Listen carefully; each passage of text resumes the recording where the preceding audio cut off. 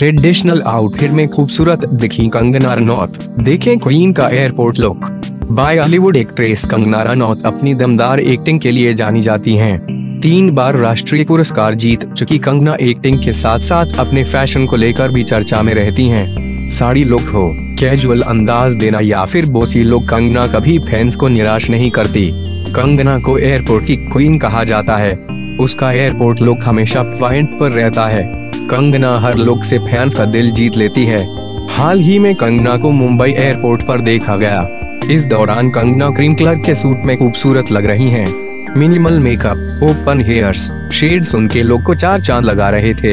इस दौरान उन्होंने ब्लैक कलर की बेली पेयर की थी। तस्वीरों में वे पर्स कैरी किए दिखी। एयरपोर्ट पर कंगना का स्वैग और टशन देखते ही बन रहा था।